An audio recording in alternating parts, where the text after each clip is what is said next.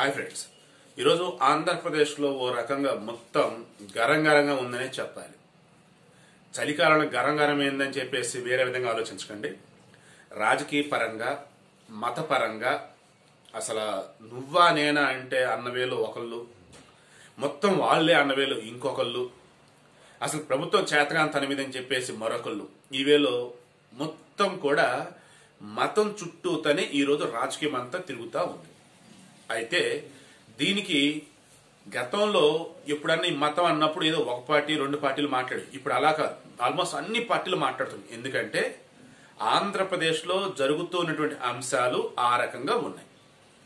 మొన్నటికి మొన్న విజయనగరం జిల్లా రామతీర్థంలో కోదండరామస్వామి ఆలయంలో రాముడి యొక్క శిరస్సును ఖండించటం పక్కన ఉన్నటువంటి కోనేరులో ఆయన శిరస్సు దొరికితే రో- నెక్స్ట్ డే రోజు తీసుకురావటం ఇదంతా జరిగింది.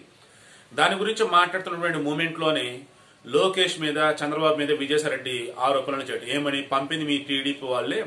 మాకు తెలుసు చేసింది వాళ్ళే. కొండ మీదకి వెళ్తాం మేము చూసాము. త్వరగా వివరాలు బయట పెడతాను. దాంతో సింహాచలం రా ప్రతిజ్ఞ చేద్దాం. నువ్వా నేనా అనే వేళ వాళ్ళు. ఈలోపు చంద్రబాబు నాయుడు ప్రభుత్వం గనక చిత్తశుద్ధి గనక ఉంటే ఇటువంటివి జరిగాయా? ప్రభుత్వంలో చిత్తశుద్ధి లేకపోవటం. బాధ్యులను ఎవరో దోషులు ఎవరో పట్టుకొని శిక్షించకపోవడం ఈ రకం జరుగుతుందని చెప్పేసి చంద్రబాబు నాయుడు అనేసి ఈ రోజు ఆయన అక్కడికి విజయ ఆల్రెడీ వైజాగ్ వెళ్ళి వైజాగ్ నుంచి విజయనగరం జిల్లా రామతీర్థంకి వెళ్తా ఉన్నారు. ఇక పవన్ కళ్యాణ్. మొట్టమొదట ఒక ఘటన జరిగినప్పుడే జగన్మోహన్ రెడ్డి కనుక పట్టించుకొని ఉన్నా ప్రభుత్వం దీన్ని సీరియస్గా తీసుకుని ఆ రకం అడుగులు వేసుండా ఈ రోజు ఈ రకం జరిగేవి కాదుగా. న్యూ ఇయర్ని రాజమండ్రిలో శ్రీరామ్ గణపతి స్వామి ఆలయంలో ఉన్నటువంటి సుబ్రహ్మణ్యేశ్వర స్వామి చేతులు వి- విరగ్గొట్టున్నారే? దాంతో స్వాగతం పలికేరే? ఇంతకన్నా దుర్మార్గం ఉంటుందా? మీ ప్రభుత్వంలో ఇటువంటివన్నీ జరగటం ఇది కొత్త కాదు. ఎప్పటి నుంచో జరుగుతూనే ఉన్నాయి. ఇట్టి పరిస్థితిలో కూడా ఇక మీద మేము ఉపేక్షించేది లేదు అని చెప్పేసి ఆయన. మరోపక్క బీజేపీ వాళ్ళు లేఖ వాళ్ళు మోడీకి లేఖలు రాసేదాకా వెళ్తున్నారు వాళ్ళు.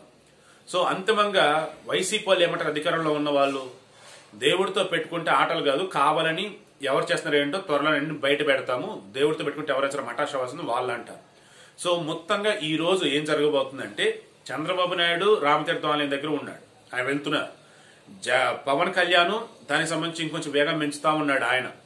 బీజేపీలు అలాగే చేయబోతున్నారు. మొత్తానికి ఈరోజు ఆంధ్రప్రదేశ్లో అయితే ఊహించినటువంటి పరిణామాలు జరగబోతున్నాయి నాకైతే అనిపిస్తా ఉంది. ఐఎమ్ షూర్ ఇందులో రాజకీయంగా లబ్ధి పొందడానికి ఎక్కువగా చూస్తూ ఉన్నారు. సామాన్య ప్రజానికం ఈ రాజకీయ లబ్ధి రాజకీయ నాయకులు పొందే విషయానికి సంబంధించి పావులు కావద్దు అన్నదే నా మెయిన్ రిక్వెస్ట్